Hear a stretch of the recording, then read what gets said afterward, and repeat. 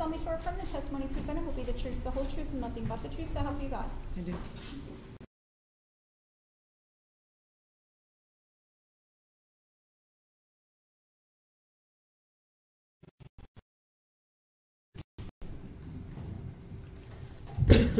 You may proceed. Thank you, Your Honor. Good afternoon, ma'am. If you'd please tell the members of the jury your name. Uh, Stacie Livingston? Let me ask you to just scoot up just a little bit closer to that microphone just to make sure we can hear you. Uh, where are you employed? Sanford Fire Department? And how long with the Sanford Fire Department? A little over 25 years. Your current position there is what? Firefighter EMT? And what does EM, EMT stand for? Emergency Medical Technician? Are you certified in the state of Florida as both a firefighter and an EMT? Yes. And what are your duties as a firefighter EMT with the Sanford Fire Department? Anything from fire calls to medical calls or anything that the citizens call for. All right. Can you give the jury a brief description of your training and education uh, that has prepared you for your duties as a firefighter and EMT? I went through the certification of Florida to become a firefighter, also state of Florida for EMT, and we have continuing education at work. All right. Let me turn your attention then to the evening of Sunday, February 26, 2012, where you work in that evening. Yes, And on that evening, were you dispatched to the scene of a person shot at the Retreat at Twin Lakes complex here in Sanford, Seminole County, Florida? yes, Where were you uh, when you were dispatched to the call? at Fire Station 38. And were you dispatched along with other firefighters and EMTs? Yes, Do you recall the time of the dispatch? I do not. Was it approximately 7:20 in the evening? Yes, All right. And can you give the jury an idea of about how long it took you to arrive? it would be a guess.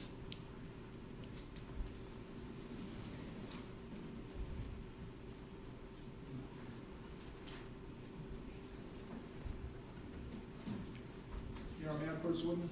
the witness? Let me just ask you to look at this document. Um, It's just to refresh your recollection, Your Honor.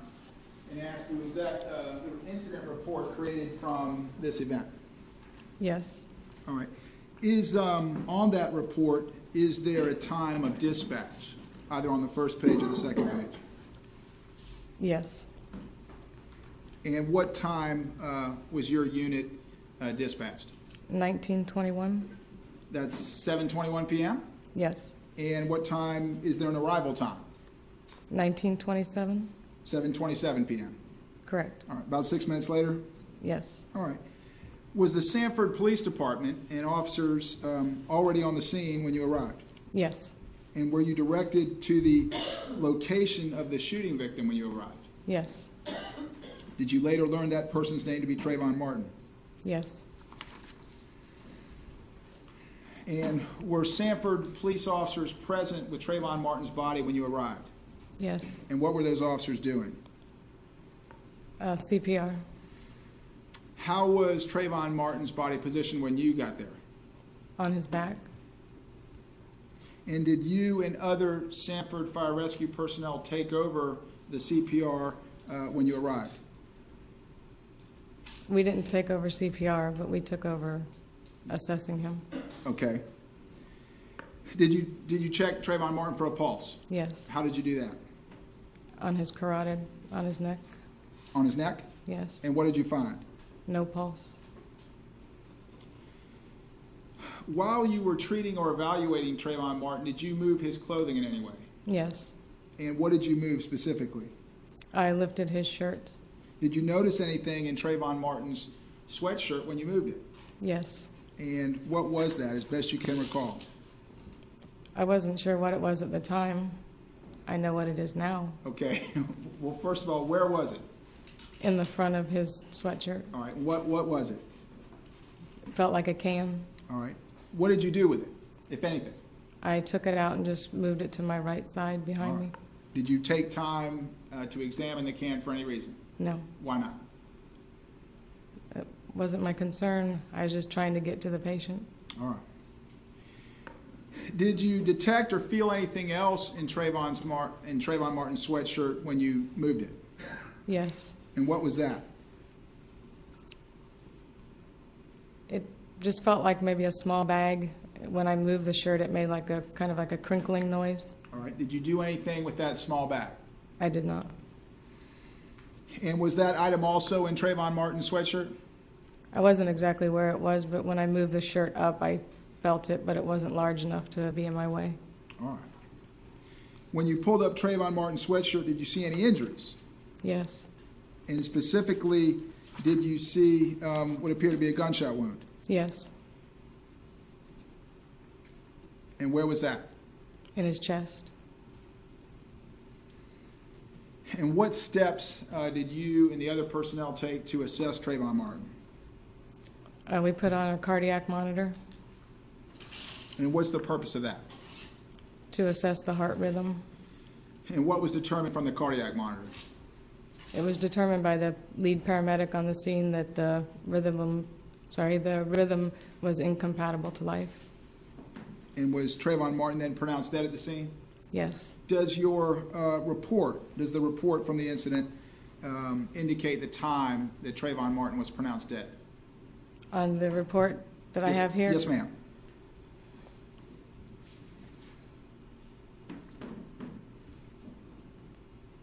nineteen thirty. 7:30? Yes. All right, and that was just uh, a few minutes after you arrived, about three minutes after you arrived? Okay. Yes. Okay. At any point, did you hear Trayvon Martin make any sounds? No. Did you or anyone from your agency transport Trayvon Martin's body from the scene? No. And why not? That wouldn't be part of our job. Is that something when a person's deceased that's left for the medical examiner's office? Yes. Other than um, taking the can out of Trayvon Martin's shirt pocket, uh, did you move or collect any other items on or around him? No. All right, let me ask you to look at your screen. Your Honor, would you dim the lights? Thank you. States Exhibit 20, do you recognize that? Yes. And is that a fair and accurate depiction of the way Trayvon Martin appeared after um, he was pronounced? Well, we had his shirt up, but yes. Okay. And States 25 from the other side, is that also uh, an accurate depiction of the way he appeared? Yes. And States 80 Yes. and States 28, um, what's depicted in that photograph? The gunshot wound. And that obviously would be uh, when his sweatshirts were pulled up. Yes. Your Honor, that's all I have for the lights. All right. After Trayvon Martin was pronounced dead, did you treat a man later identified to you as George Zimmerman at that same scene? Yes. Do you see that individual in court this afternoon? I don't. Yes. Is he the gentleman standing to my left? Yes. All right. Your Honor, I ask that the record reflect the witnesses identify the defendant. Record is so reflect. Where was the defendant when you made contact with him? Uh, sitting in a police car. And when you met with the defendant, uh, did you talk to him? Yes. Did the defendant appear to have any difficulty understanding what you were saying? No. Did you have any difficulty understanding the defendant when he responded to you? No. Did the defendant appear to have any memory problems? No. Object to that, Your Honor, that would be speculation. Sustained. And since it got out before the objection, I would need to move to strike the answer. Okay. Um, Ladies and gentlemen, you're to um, disregard the question and the answer. What is a Glasgow coma score? It's a scoring system that we use to determine the level of responsiveness of a patient. And what, what are the components of it? What makes it up?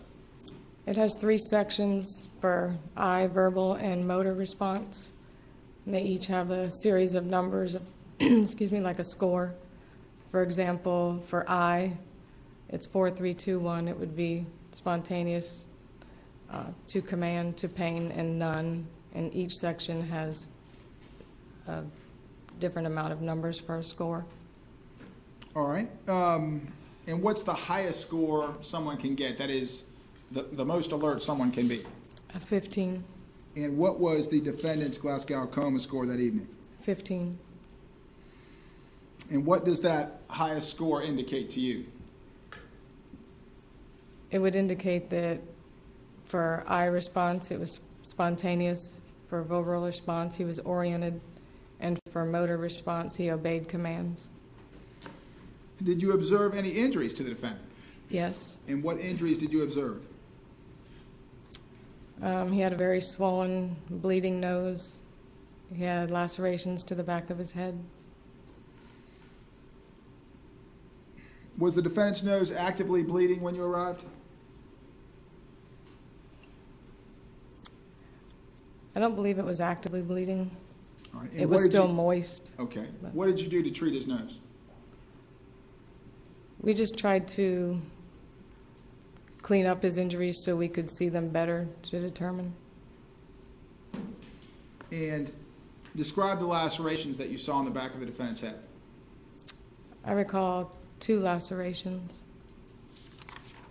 approximately an inch long, All right. Were either of those lacerations bleeding? not actively bleeding, but they had been. And how did you treat the lacerations to the defendant's head? The same, we just tried to clean up a little so we could view better what the injury was. At any point while you were treating the defendant, did he stand up? Yes, Did the defendant have any trouble with his balance when he stood up? I don't believe so. And about how long uh, were you treating the defendant? Maybe five minutes.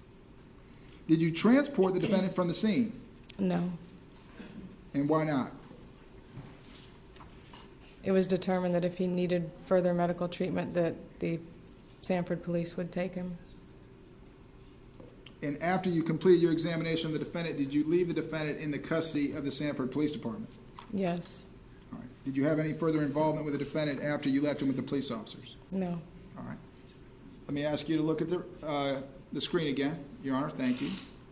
States Exhibit 79, is that a fair and accurate depiction of the defendant as he appeared in the back of the officer's patrol car? Yes.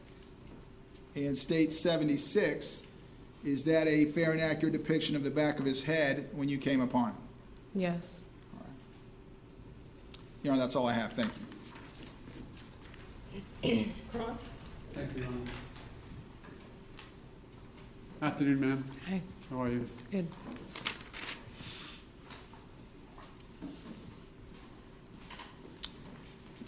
Speaking about when you came in contact with my client, George Zimmerman, um, he was in the back of the patrol car, correct? Yes. And we just saw a couple pictures of him, and in the front picture I want to talk about first. Um, you didn't actually do the evaluation, did you? On him, the, the, the sort of workup, wasn't that um, two other paramedics that were out there as well, correct? What do you mean evaluation? Well, I'm sort of who did sort of the workup on Mrs. Zimmerman to identify injuries and whatnot. Wasn't Mike Brandy in charge of sort of lead in that? I believe it was myself and firefighter Kevin O'Rourke who treated Mr. Zimmerman. Okay, wasn't Mike Brandy there as well? He was on the scene. Okay. And um, when you did the evaluation, you noticed that the nose was swollen. I think you said very swollen, correct?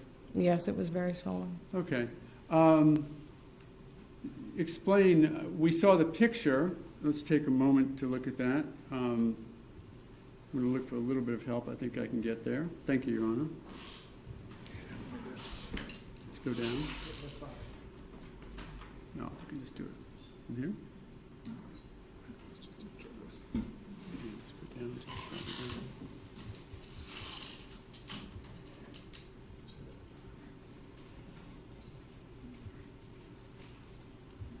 Great, thank you. Which one?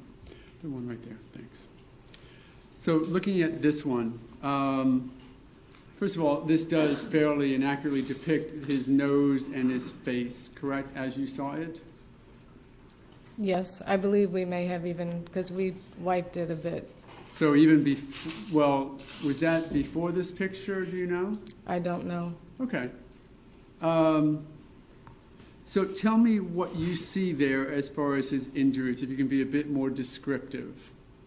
Uh, the bridge of his nose is very swollen. And that's off to his, the right of the nose, that swelling area there, is that what you're speaking of? I, I recall both, both sides being swollen. Okay, so the nose itself may be more on the right, but I was going to ask, the, the, the left side is swollen as well, isn't it? The entire area was quite Okay. swollen. Um, and what is that just um, on the bridge of the nose, sort of going towards his right eye? That little red spot.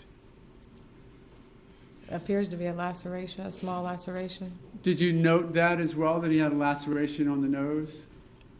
I did not. Okay. How, how does a person get a laceration like that? I don't know. Okay. Um, in your experience, is that consistent with getting struck in the nose by a fist? It could. Okay. Uh, similar to the injuries to the nose itself and the swelling, are they also consistent with a fist strike to the nose? Very possibly. And um, do you see the the injuries to what would be closest to you, his left forehead? Do you see those markings up there? Yes. What, what is that? Looks like an abrasion. Okay. Can you tell how that may have been? Uh, how he was injured with that? I cannot.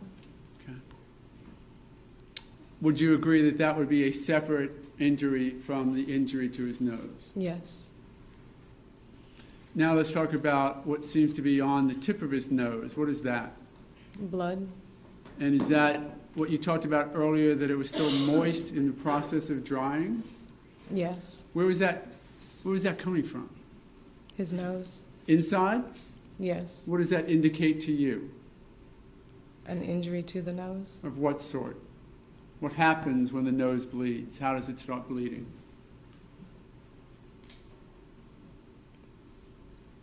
Specifically? Well, um, as best you can, if you can, describe how a, a shot to the nose would cause bleeding like that. What has to happen to it? I mean, blood vessels would initiate bleeding. Okay, and those blood vessels that exist up in the nose, correct? Yes. Any idea what happens to the blood that breaks or that, that escapes from blood vessels when you're laying on your back? What if you had that injury and you were laying on your back? Where would the blood go? You would probably swallow it. You go back up into your sinuses Correct. and then back down the back of your throat. Correct. And then, if you could, you'd be swallowing your own blood, right? Right?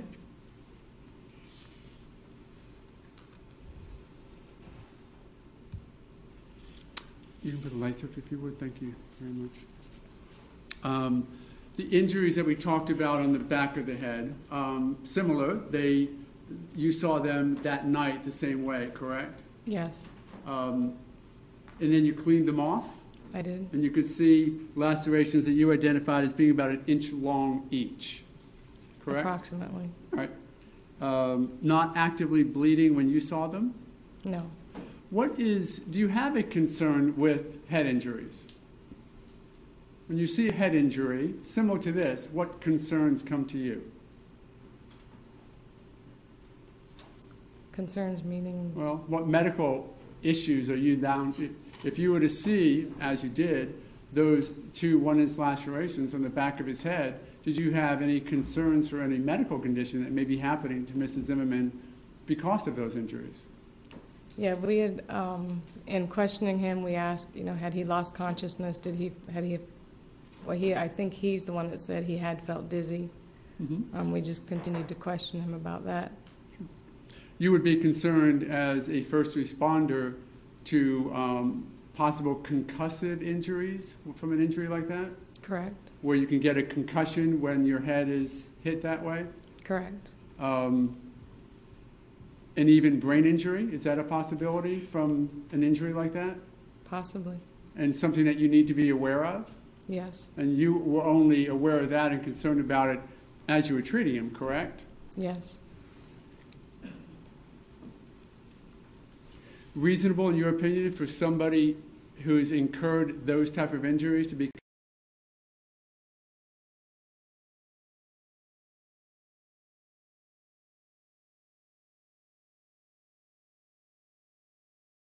their medical safety? possibly. And how about the nose? Would, would that cause you concern about a person's medical safety if that injury was um, caused to them? Possibly.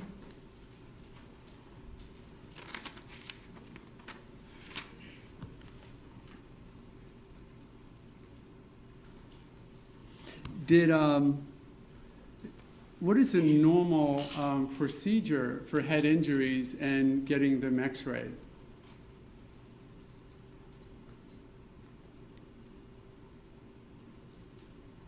Well, we, they would have to be transported to a medical facility to receive an x-ray, Sure, you can't get X-rays just in the back of your ambulance, right? right?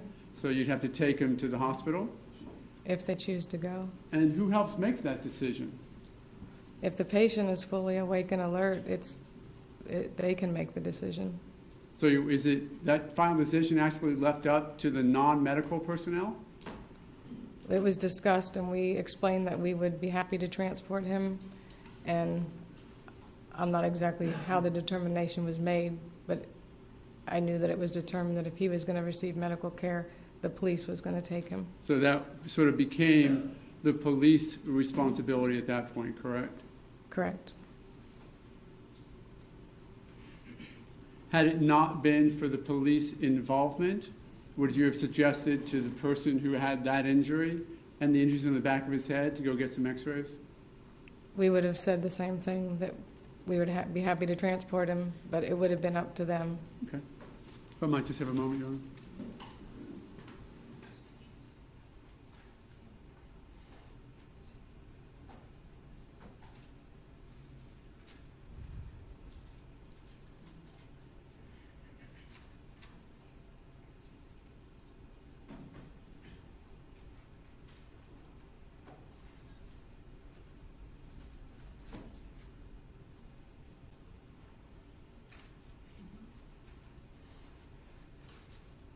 Just a minute or mo- more and we'll be done.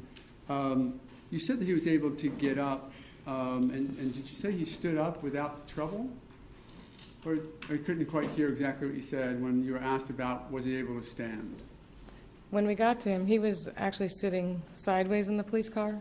With He his sort of feet out of the car and his... Yes. The door was open and his feet were out. All right, And when, however, it came about that he had said he had been dizzy, we asked him to stand up to see if he still felt dizzy, and he was able to stand up. with the assistance of Officer Smith and one of the paramedics, correct? Because he was handcuffed behind his back, wasn't he? I don't recall if he was handcuffed behind his back. Okay, you don't recall that? I don't. Do you recall Officer Tim Smith helping him out of the car when he was complaining about being dizzy? I do not. Okay, do you remember whether it was um, paramedic uh, Mike Brandy who helped him out of the car as well when he complained about being dizzy? I do not. Okay, your focus is really on injuries, clear them up, identify them, and then evaluate, correct? Yes, sir. Okay, nothing further. Thank you, Your Honor. Just briefly, Your Honor. From your observations of the defendant, both his physical condition and his mental uh, capabilities, did you have any concern that he had sustained a brain injury? I wouldn't make that determination. Did the defendant ever complain, other than of dizziness, did he ever complain of a headache or excruciating pain, anything like that? Not to me. Did he ever lose consciousness? While No. you were, while you Not were while there? we were with him. Did you, did someone ask him whether or not he had lost consciousness prior to your arrival? I believe so. What did he say? I, I didn't. I'm not the one that asked, so I don't know. Did you ever take the time to, to measure either of the lacerations on the back of his head? No. All right, so your um, testimony about them being approximately an inch, that would be a guess? Approximately an inch, yes. All right. Would you defer to someone who actually measured them? I'm sorry? Would you defer the length of each of the lacerations to someone who actually measured them? To be exact, yes. All right. Thank you, ma'am. Judge, that's all I have. Thank you. May Ms. Livingston be excused? She may. Yes, Your Honor, Thank you very much. You may be excused. Call your next